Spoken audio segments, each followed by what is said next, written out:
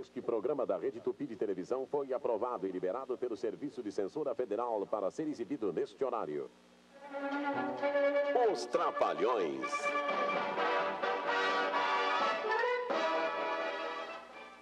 Um show completo. Música e humor em Os Trapalhões.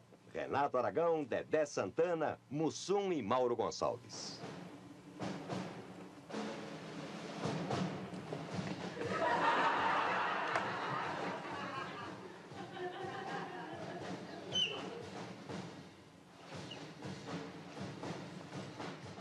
O sucesso na TV Tupi foi tão estrondoso que sacudiu as estruturas na televisão.